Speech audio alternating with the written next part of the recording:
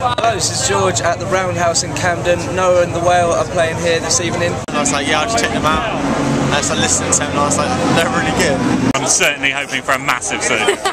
I kind of like it's a mix of Beach Boys, rock and folk all wrapped up together and it's great for the summer. Love the ukuleles, my favourite instrument. They just make me feel happy. Because each album, they'll, they'll kind of bring something new. I like the way their albums can break down into sort of falling in love, uh, losing love, and then getting over it. Kind of feels to me like quite a nice, inspiring narrative. Awesome.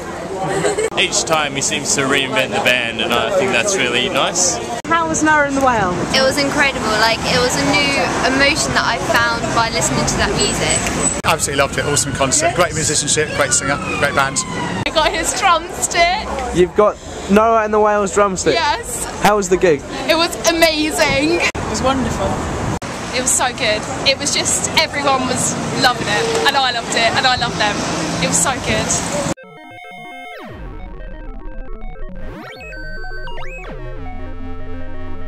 Winkball